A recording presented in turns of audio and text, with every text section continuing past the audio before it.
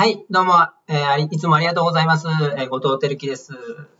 えー、今回の、え、動画は、え、思い込みが大事みたいな、え、動画です。え、っていうのは、まあ、あの、僕、ヒューメリアンカードの結果をいつもツイツイートしてるんですよ。で、昨日、なんか、計算間違いして、11、あれ ?11 と1でクリアしちゃってることになってるんですけど、あれ本当は11と2かな？うん、11と2じゃなきゃいけないところを多分、えー、11と11に、11と1にやっちゃってるんですよね。11と1。でも、あの、実際は多分2があったんだけど、2はあるんですよ。2もあるし、あのー、まだ開けてないカードもあるから、実際は達成されてるんですけれども、僕のちょっと計算ミスなのか、ちょっと何なのか、思い込みなのか、わからないですけど、えー、2のところ1のカードを置いちゃったんですよね。でもこれ、肝心なことは、これやりきったっていうことが大事なんですね。あ、これ毎日僕やってると。フューメリアンカードやってる、達成したぞと。えそれを上げてることが大事であって、まあ、あのもちろんそのミスだったんですけども、ま、結果は、あの、クリアされてたと、されてるんですが、これだから、あ、それでダメだとかじゃなくて、自分はやったかやってないかなんですね。何でもそうですけど、えー、思い込みって本当大事で、俺はやったぞ、私はやったぞ、みたいな。そういう自分が思い込むことが大事なんですね。幸せとかもそうなんですよ。私は幸せだって思い込むことが大事で、私は不幸だって、えー、思い込んだら不幸になっちゃうんですよ。よく多くの人が人生つまらないとか不幸だとか、生きてる意味わかんないとかなんかいろいろ考えるじゃないですか。それってそう思い込んでるからそうなっちゃうんですね。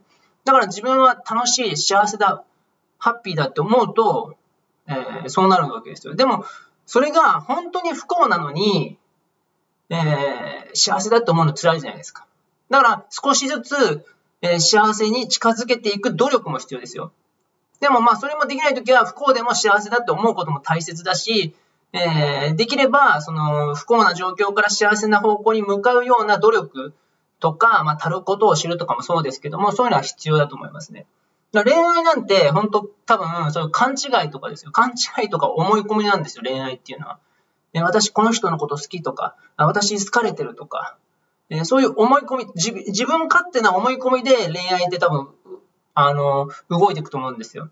で、別にそれは悪いことじゃなくて、それいいことなんですよ。思い込みできる人ってすごい強い、強いというか幸せなんですよね。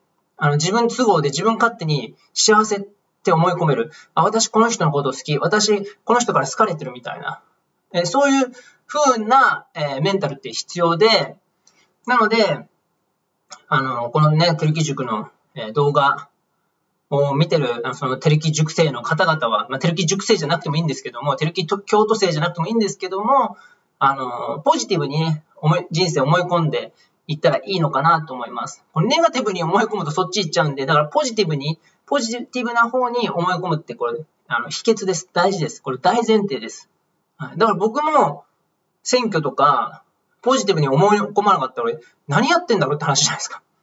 いい年して何やってんだろうみたいな。そっち行っちゃったらもう俺、もうダークサイド落ちちゃいますよ、多分。でも僕は、え世の中変えるため、良くするためにやってんだって思い込んでるから、なんとかやれてるわけですよ。そう思い込まなかったら、え、もう私って何って感じになっちゃうじゃないですか。うん。だから、それは本当自分都合、自分勝手な思い込みでいいいいと思います。はい。